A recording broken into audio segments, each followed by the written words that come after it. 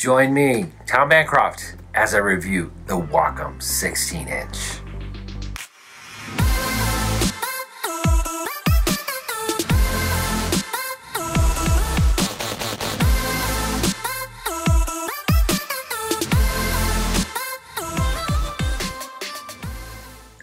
Got it all set up.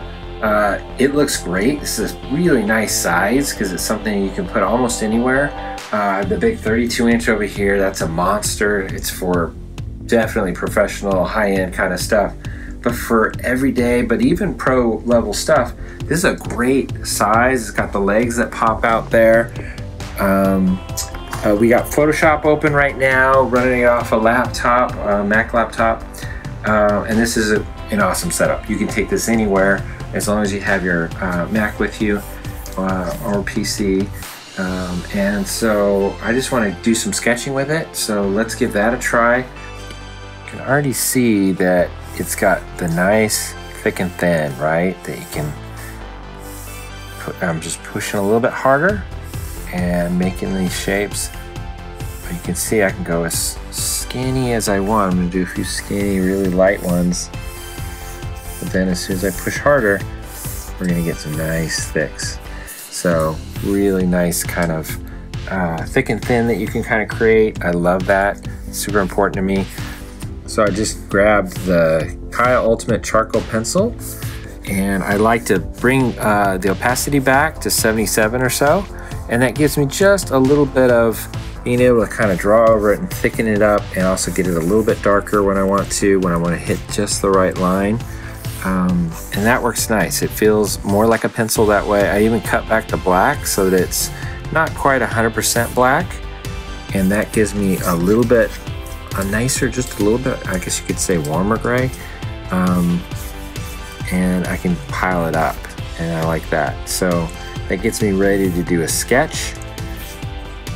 This is good. The parallax is not bad for um, for as low as the price is on this. So this is this 16-inch uh, Cintiq is Wacom's um, lowest price one that they've ever done. It's about 650, uh, not, uh, but close to that. Um, and for for what it is and how pro level it is, um, I'm really excited about it. Um, let me cut off some of these and actually do a little bit of uh, sketching on it.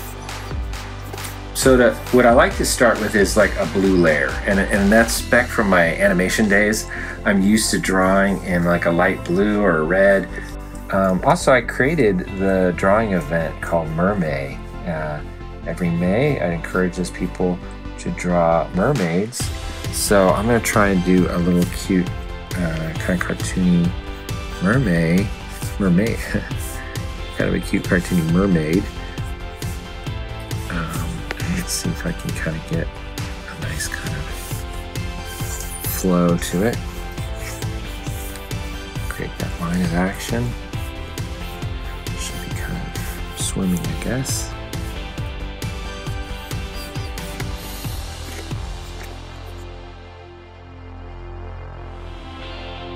I love to sketch. This is this feels so good, so natural, almost like on pencil and paper. There's a little bit of a matte finish to it too. Notice that it's not touching, my knuckles aren't bothering it a bit. Uh, let me give her short hair so I don't get in the way of that hand too bad.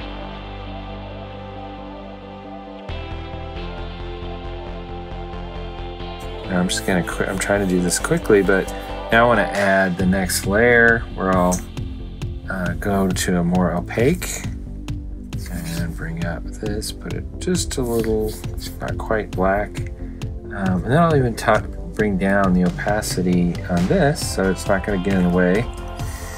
And now I can kind of do a new, uh, new version of this sketch. I'm going to still keep it sketchy, but I want to add a little bit more details now.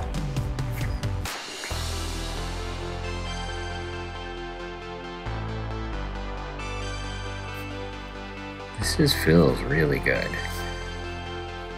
Um, I don't I could see doing storyboards on this very easily. Um, I don't want to do it on the plane. There's no room on a plane, but but you could definitely be traveling. And I know live action storyboard artists have to do that often. They have to uh, go to a location sometimes. This would be the thing to do that. You can do pro work on this and be traveling.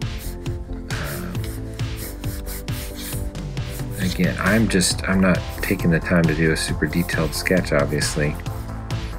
But others could zoom in and do all kinds of, uh, you know, color effects and stuff. Anything that Photoshop can do, this, this Cintiq's ready to do it. Got some bubbles, kind of help show some action, some movement.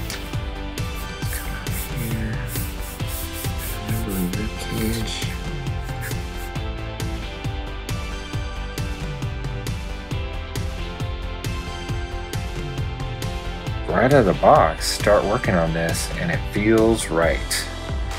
So let's add some more bubbles here. There she is. It also comes with the new Wacom Pro Pen 2, which has um, a lot more uh, sensitivity to it than the original, um, and that comes included in this.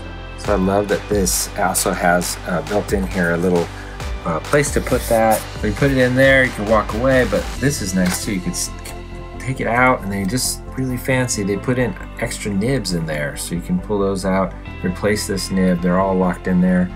Um, and this is a tool to help kind of get your nib out of there. Uh, it's just really well thought, thought out. Really enjoyed that. Um, I think that if you're interested in a Cintiq and you want something that's going to be a little bit more comfortable price, I just, I don't know how they did it, but they brought the price down and made a great product at the same time. So look into the Wacom Cintiq. I think you'll really like it.